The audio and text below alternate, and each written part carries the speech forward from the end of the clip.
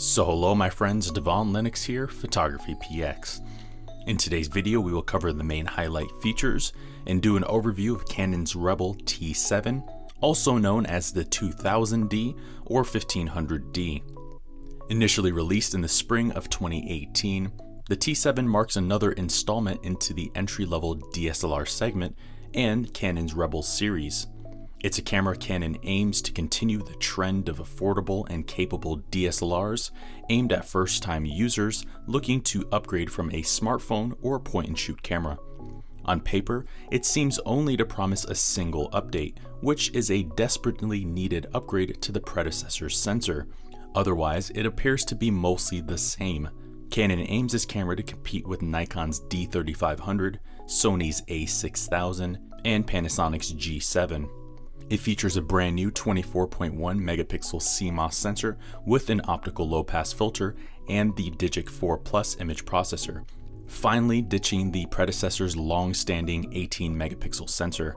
And while it's not the latest generation of the sensor used in their current cameras, it does provide a modest improvement in image quality. Outside of this, the camera maintains the predecessor's 3 frames per second continuous shooting speed, but it now provides a large 70 shot buffer.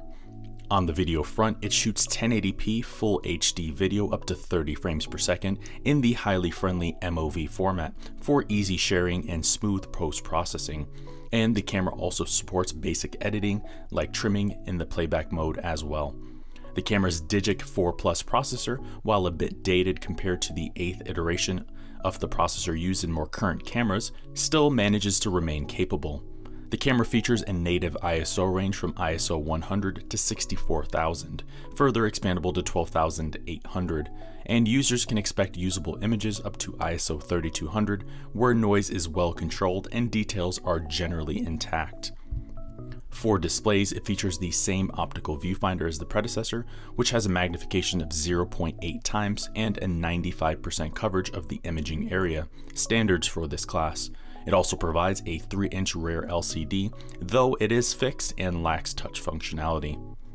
For focus, it maintains the 9-point autofocusing system as the predecessor, where the central most point is also cross-type compatible.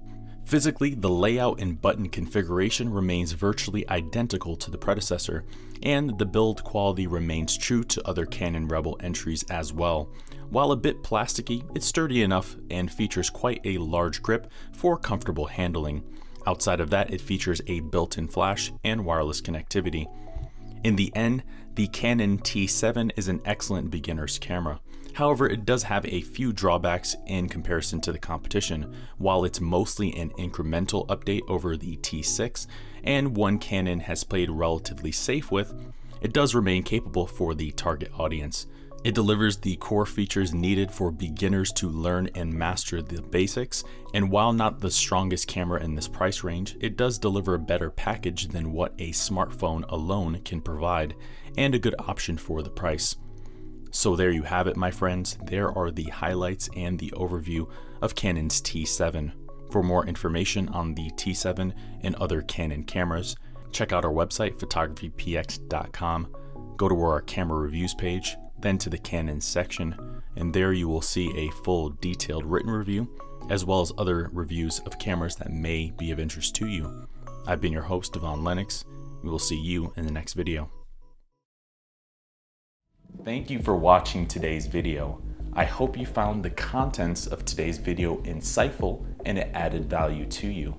If you're new here, please consider subscribing if you haven't done so already. Also, leave us a like and a comment in the description down below. Let us know if we overlooked something or we missed something that we covered in today's video.